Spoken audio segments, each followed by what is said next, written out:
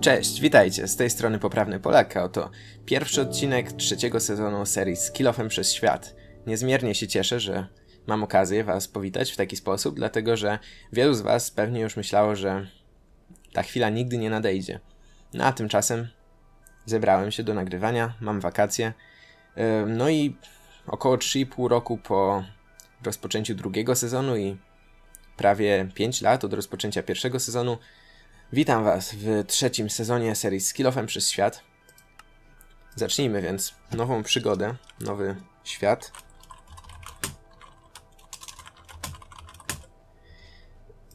Poeksperymentowałem trochę z ustawieniami generowania świata i postanowiłem nie zmieniać zbyt wiele. Postanowiłem powiększyć rozmiar rzek o jeden dlatego że lubię rzeki i w sumie zbyt dużo ich nie ma.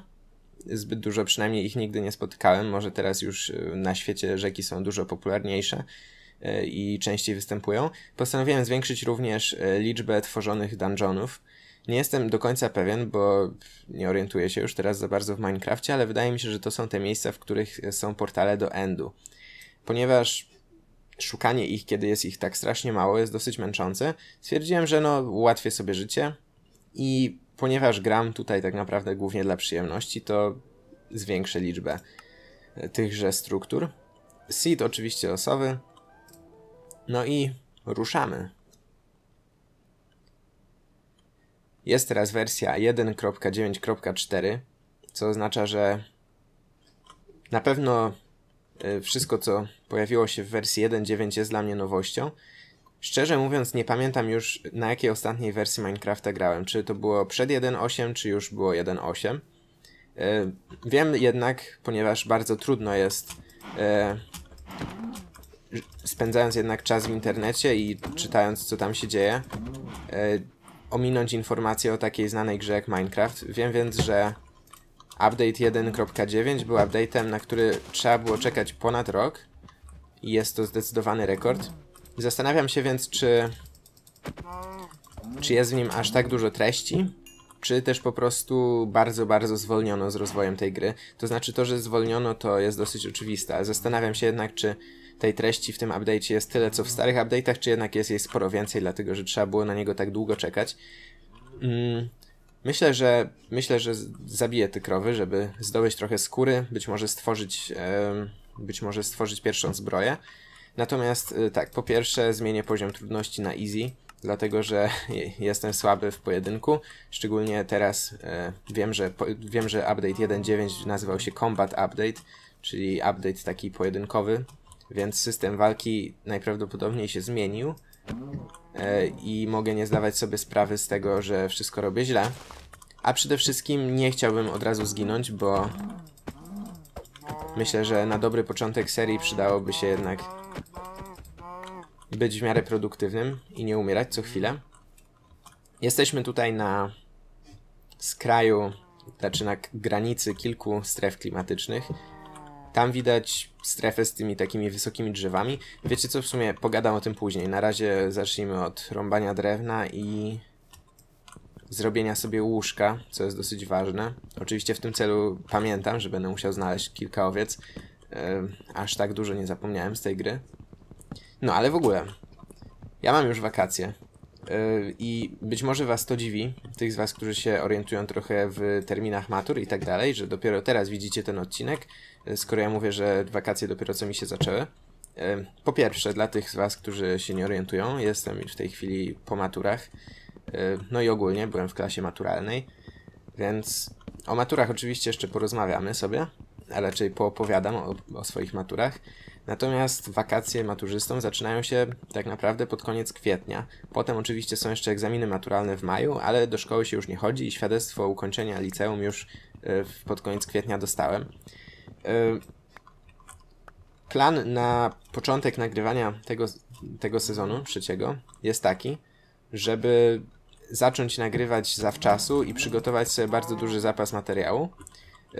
Dlatego, że, no wiadomo, z jednej strony wada tego jest taka, że nie jest się wtedy w stanie reagować jak gdyby w czasie rzeczywistym na e, komentarze widzów, czyli was.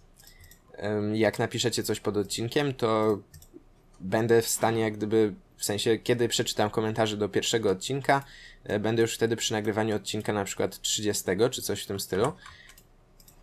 I będzie to oznaczało takie spore opóźnienie w komunikacji. Ale myślę, że. E, kurczę, blade.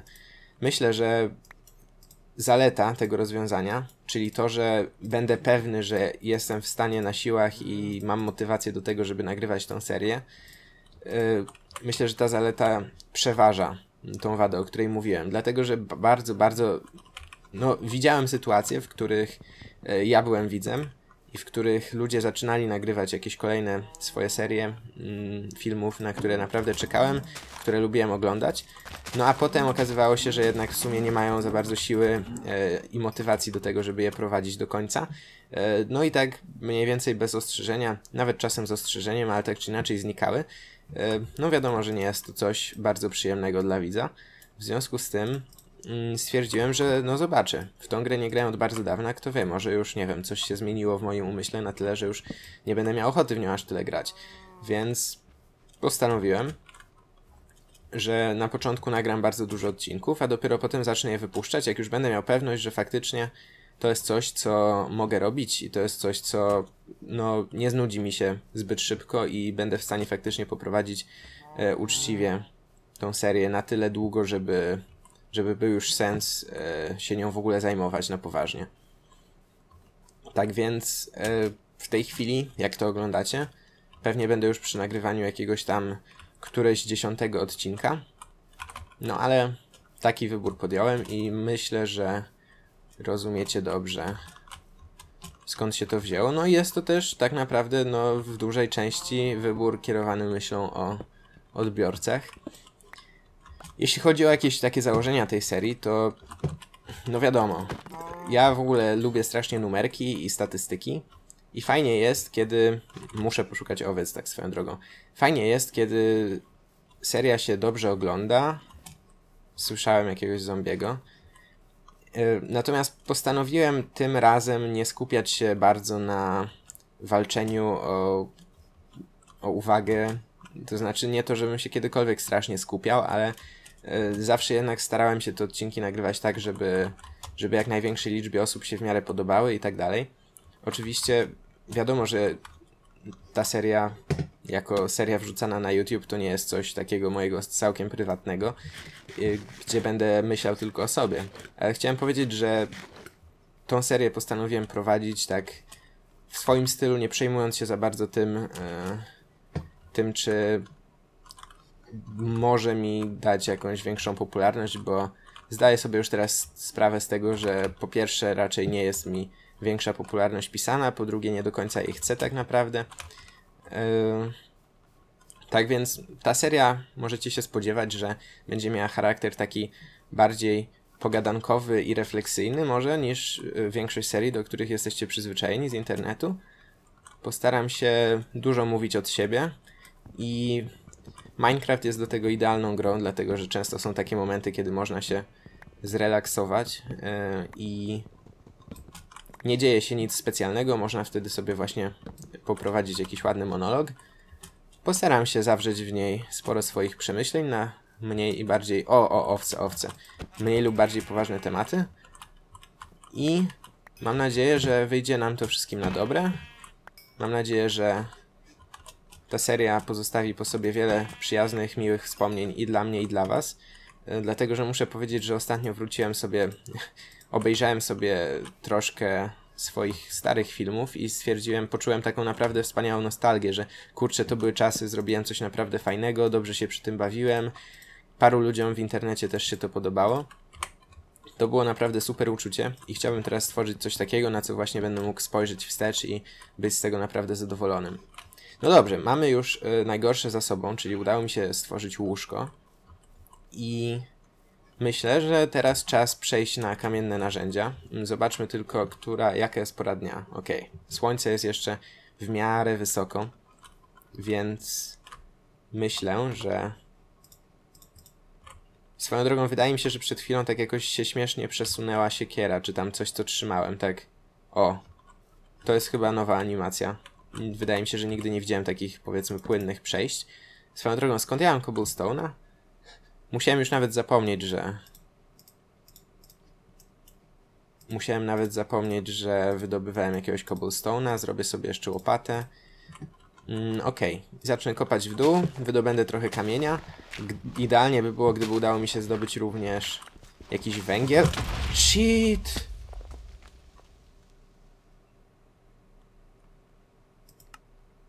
Ja cię kręcę. Znaczy was. Ale się przestraszyłem. Już może nie aż tak jak czasem się straszyłem przy tej grze. Ale to było dosyć przerażające doświadczenie. Ech, szczerze mówiąc, wydaje mi się, że mogę nie zdążyć przed zachodem słońca, e, wrócić po swoje rzeczy. I inna sprawa jest też taka, że nie do końca jestem pewien, w którą stronę w ogóle szedłem. Więc wydaje mi się, że najrozsądniej byłoby w sumie. Tak, myślę, że mój plan jest teraz taki, żeby nie starać się o łóżko, żeby spróbować tą noc przetrwać pod ziemią, wydobywając sobie surowce. Bezpiecznie, nie w żadnych jaskiniach, gdzie będzie pełno potworów E, no i zrobić sobie jakiś taki zapasik właśnie węgla, może trochę żelaza znaleźć, zrobić sobie jakieś narzędzia, miecz żelazny i następnego dnia rano wyruszyć już z w miarę porządnym ekwipunkiem. Muszę powiedzieć, że naprawdę się strasznie przestraszyłem. I strasznie się też zdziwiłem, bo w ogóle nie słyszałem tego typa, jak on podchodził. No ale takie życie, że czasem się umiera. W sumie raz na życie się to dzieje, ale takie życie. Dobra, zacznę po prostu kopać już w dół. Czasem są takie momenty, że mimo wszystko to, co należy zrobić, to kopać pod siebie. I myślę, że to jest właśnie taki moment.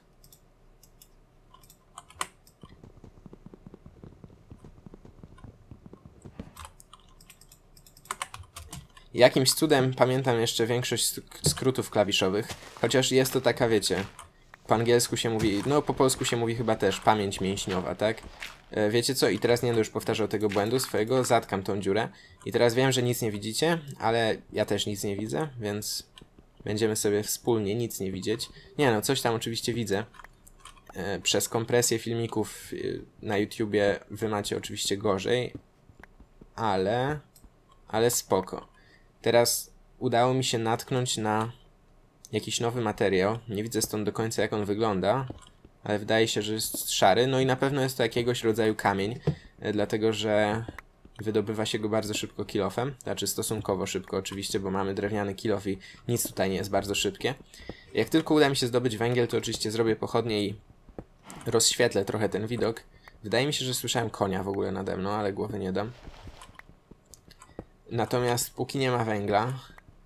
O, o, o, jest węgiel, dobra. W sumie nie jestem pewien, czy z węgla drzewnego da się robić pochodnie, ale zgadywałbym, że tak, więc w sumie to i tak nie byłoby problemu ze zrobieniem pochodni, ale mogę je zrobić już w tej chwili, nawet bez toolboxa. O, teraz coś widać. A więc to jest ten dziwny nowy materiał. Ja zdaję sobie sprawę z tego, że w grze jest teraz granit, jest, nie wiem, może i marmur. E, no i jak widać jest też jakiś inny dziwny kamień.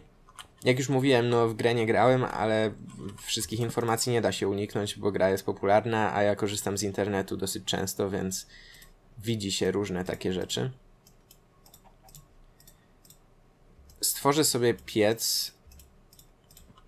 Nie jestem pewien, póki co nie jest mi chyba do niczego potrzebny, ale jak znajdę jakieś żelazo, jakąś rudę żelaza, to na pewno się zacznie mm, przydawać.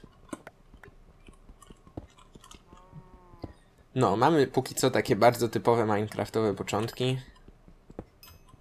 Znaleźliśmy węgiel, za jakiś czas znajdziemy pewnie żelazo. Jesteśmy bezbrodni, boimy się wszystkiego, co się rusza. I... I jest ten element survivalu, który potem jednak przynajmniej, znaczy nie wiem czy przynajmniej, ale szczególnie w, w przypadku mojej gry w Minecrafta on zawsze zanika bardzo na rzecz kreatywności, budowania i zwiedzania i robienia sobie przygód i tak dalej. E, nigdy jakoś ten element taki survivalowy i walki z potworami mnie e, nie pociągał w tej grze aż tak bardzo jak inne jej aspekty. E, kto wie, być może ten Combat Update 1.9 właśnie zmieni to wszystko. Ale póki co... Póki co tak naprawdę go nijak nie doświadczyłem chyba. Chyba, że podwyższył on obrażenia zadawane przez creepery i doświadczyłem go w bardzo bolesny sposób, umierając wtedy. Mm, no dobra, ale teraz zdaje mi się być w miarę bezpieczni. W sumie nie mam dlatego pojęcia, jaka jest pora dnia. Y, zrobiłbym sobie... Hmm, myślę, że mam pomysł, jak, sp jak sprawdzić w miarę, kiedy się dzień zrobi. Zrobię sobie płotek i chyba domyślacie się już, co dalej. A jak nie, to... W sumie muszę sobie przypomnieć, jak się robi płotek. Wydawało mi się, że tak się robiło płotek, ale... Kurczę, jak widać, nie. No, takiej przeszkody to się nie spodziewałem, naprawdę. Mogę przyrobić w sumie całe drewno na deski. Może się robiło jakoś tak? Nie? No dobra, ale w sumie wiecie co? Klapa też może być. Po prostu chcę jakiś klocek, który jest trochę przezroczysty. Yy, I będę mógł sobie zatkać nim dziurę w suficie, przez którą będę patrzył, jaka jest pora dnia. Tak więc... Uwaga. Okay, udało się. Jest noc. Absolutnie jest noc. W sumie pozbędę się też tych klocków, żeby mieć trochę lepszy... Nie wiem w sumie. Lepiej się czuję, tak? Księżyc jest na samej górze, pionowo nad nami, czyli mamy środek nocy i mamy jeszcze trochę czasu w takim razie, żeby pokopać. W sumie teraz nie jestem pewien, czy w ogóle chcę mieć przy sobie ten materiał, e, bo pewnie da się z niego kraftować jakieś ozdobne rzeczy, tak bym zgadywał, ale wątpię, żeby dawało się go używać do tworzenia narzędzi i tak dalej. Więc kiedy tylko zacznie mi się kończyć miejsce w ekwipunku, a tak, poza tym domyślam się też, że nie jest on bardzo rzadki, bo kurczę, jest tu go strasznie dużo i myślę, że jeśli się jeszcze na niego natknę, to będzie już dowód, że to jest dosyć powszechnie występujące coś. I właśnie to się stało. Tak więc, kiedy będę tylko potrzebował miejsca w ekwipunku dodatkowego, to pozbędę się po prostu tego a nie, zobaczcie, mamy już dwa różne materiały. Nie wiem jak się tłumaczy na polski, ale niech będzie dioryt i andesyt. Na pewno to nie jest całkiem dokładne tłumaczenie, ale zawsze coś. I zaraz, to są te dwa różne? Nie, zobaczcie, tutaj jest pierwszy, a tutaj jest drugi, ten biały i ten biały to jest ten sam co tutaj, ok. I ten biały się nazywa jak? Ten biały to jest dioryt, ok. Nie wiem, kiedyś pewnie sprawdzę, jak one się naprawdę nazywają, ale póki co, no to bez przesady. I tak w ogóle część nazw mówię po angielsku, więc jeśli chodzi o język, to... To znaczy o to, którego języka używam do nazywania tych przedmiotów, to... Myślę, że mieszanka polskiego z angielskim, taka jakiej używam przy tym diorycie, jest do zaakceptowania. e... Zobaczmy, jaka jest pora dnia raczej nocy. Myślę, że cały czas jest noc, ale pewnie już się chyli ku końcowi. Swoją drogą nie znalazłem tu w sumie niczego więcej ciekawego. Może pokopię jeszcze trochę w tą jedną stronę. O, o, o, spójrzcie. Miałem bardzo dobre wyczucie, bo natknąłem się na żelazo. Tak więc będziemy mieli już żelazne narzędzia za chwilkę. I będzie to bardzo dobry moment, żeby faktycznie wyjść na powierzchnię i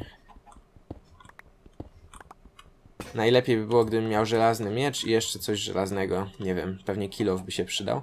Ale mam tylko 4 sztuki żelaza, więc y, szybko odpalamy piec. I jedziemy. No, mam trochę węgla, mam, będę miał troszeczkę żelaza. I, I w sumie tyle, ale zawsze coś. Jestem żywy przy okazji. Noc jeszcze trwa. Wydawało mi się wtedy, że niebo jest trochę jaśniejsze, ale musiałem po prostu zobaczyć chmurę. Już nie pamiętam ile trwa doba w Minecrafcie, ale wydaje mi się, że kiedyś trwało około 20 minut i spodziewałbym się, że teraz jest podobnie. Myślę, że kiedy już będę gotowy wyjść na powierzchnię, to zakończę ten pierwszy odcinek. Oczywiście w przyszłości pewnie odcinki będą dłuższe, no ale w sumie zobaczymy. Myślę, że nie ma co w ogóle próbować uprzedzać faktów, będzie jak będzie. A póki co stwórzmy żelazny miecz, żeby mieć się czym bronić. I na żelazny kilof nam brakuje. Tam jest cały czas noc. Okej, okay, no to... A tak, nie mam w ogóle kilofa w tej chwili. Spróbuję powydobywać w takim razie jeszcze pokopać sobie jeszcze trochę. Jeśli uda mi się znaleźć trochę żelaza, to będzie super, bo będę wtedy mógł sobie zrobić. Myślę, że zamiast kilofa zacząłbym od zbroi. Słyszę teraz jakiegoś zombiaka, ale bardzo możliwe, że po prostu jest nad nami, bo nad nami jest w końcu powierzchnia, więc myślę, że nie ma się czego bać. Zrobię sobie jeszcze pochodni. Zapomniałem, że mam jeszcze w ogóle patyki. Myślałem przez chwilę, że już więcej pochodni tutaj nie będę miał. Ale się myliłem, na szczęście. No, mówiłem o tej, o tej planowanej formule odcinków, że zamierzam prowadzić trochę więcej konwersacji i w ogóle miałem takie kilka pomysłów, takich na razie dosyć luźnych, e, na to jak urozmaicić serię. Miałem taki pomysł, żeby... E, no, znam trochę fajnych cytatów, które mi się podobają. Nie, jest, nie jestem oczywiście jakimś filozofem ani nic, ale myślę, że... O, o, piasek. Myślę, że mogłoby być całkiem fajnie... Mm, zatkam tą dziurę, żeby nic się tutaj nie zespawnowało. O, żelazo przegapiłem, super. Myślę, że mogłoby być całkiem fajnie zrobić jakiś taki mały fragment odcinka każdego, znaczy każdego, kiedy będę miał ochotę akurat, w którym będę będę dawał jakiś cytat i potem opowiadał coś, jakieś przemyślenia swoje na jego temat. E, no ale miałem też różne inne pomysły, w sumie w tej chwili nic mi nie przychodzi do głowy, ale coś tam na pewno jeszcze było. To jest, tak, to jest żwir po prostu, nic ciekawego. Więc jakieś rzeczy w tym stylu będą się pewnie działy czasem. No a w tym momencie widzimy, że jesteśmy gotowi do wyjścia na powierzchnię. Jest dzień. Myślę, że jeśli się to jeszcze nie stało, to za chwilę wszystkie zombiaki i szkielety spłoną albo się pochowają. Tak więc ja w sumie zabiorę ze sobą te pochodnie, no bo na razie nie jesteśmy zbyt zamożni, to nie bądźmy rozrzutni, prawda? Czas na rozrzutność przyjdzie jeszcze później.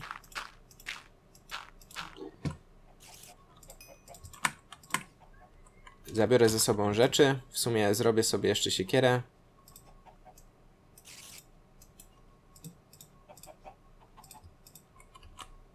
Wezmę ze sobą piecyk i toolboxa i pochodnie i pochodnie i ruszamy na górę. Słyszę niestety tutaj pająki, co oznacza, że będę musiał pewnie stanąć do walki. O, i nie mam przy sobie w ogóle jedzenia, o tym nie pomyślałem. To jest trochę słabe niestety. I przydałoby się swoją drogą zrobić sobie jakąś drogę odwrotu, więc ja myślę, że zrobię sobie tutaj taki mini pokoik i zrobię sobie tutaj jeszcze trochę przestrzeni na odwrót, w razie czego.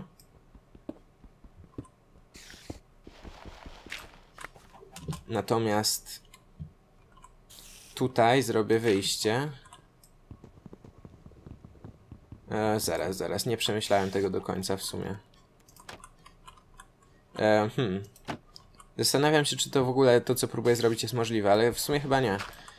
Więc spróbujmy wyjść na chwilę na powierzchnię. Mam nadzieję, że nie zginę od razu. Dobra, tam jest jeden pająk. Czy ja dobrze pamiętam, że pająki są neutralne w dzień? O, no to super, dobra, świetnie. Ok, moi drodzy, w takim razie zabieram się do kończenia odcinka. Dziękuję Wam bardzo za uwagę. Jestem ciekaw, czy tam się coś nie załadowało, czy ta góra po prostu tak wygląda, ale obstawiam, że coś się nie załadowało. Niestety, jak widać, ten bardzo denerwujący mnie zazwyczaj błąd cały czas występuje, chociaż całkiem możliwe, że ten świat po prostu tam tak wygląda. Tak więc w następnym odcinku wyruszamy od razu w tamtą stronę. No a póki co, dziękuję Wam bardzo serdecznie za uwagę. No i mam nadzieję, że to jest początek kolejnej wspaniałej przygody. Tak więc zapraszam Was na kontynuowanie jej wspólnie ze mną. Komentujcie, subskrybujcie, oceniajcie, oglądajcie i do usłyszenia przy najbliższej okazji. Cześć.